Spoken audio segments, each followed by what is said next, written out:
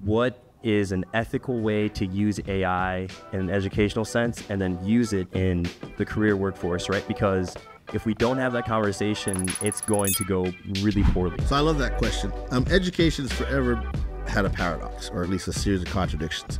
Remember when you're in school, um, grade school, even up to in college, it's changing a little bit in some colleges. Thank you for your work. Um, but in general, K through 12 and some undergrads, you're supposed to work on something. And if you look over at your neighbor and read what they're working on or whisper them or, hey, help me out, what do they call that? All right. Now you're grown, you have a job, you're working company X or industry Y. What do you do at work?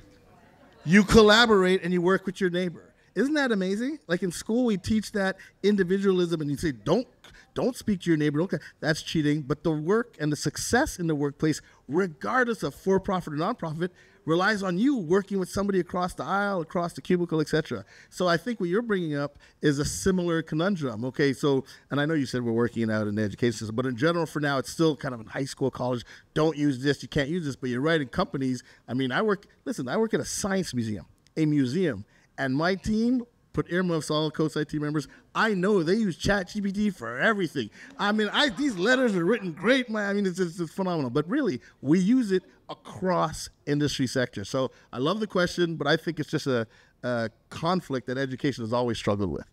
Yeah, and I and I actually um, I disagree with how we do it in education as a discipline. Um, because it is true. Uh, computer scientists, we say you have to do the code on your own. But when you go to a company, you do Stack Overflow, which is like, here's the code, here's the snippet. You take it and you make sure it's clean, so there's no IP associated with it, and then you release it in a product. Um, and so I think fundamentally we um, will need to address it because, as I mentioned, education is being disrupted. And I think that element of why is it that we have modules of a semester? We've had this semester or quarter system like 150 years, and yet students learn differently. How they digest information is different, and yet we still have this archaic structure. Um, but this is one of the elements of why we will be disrupted.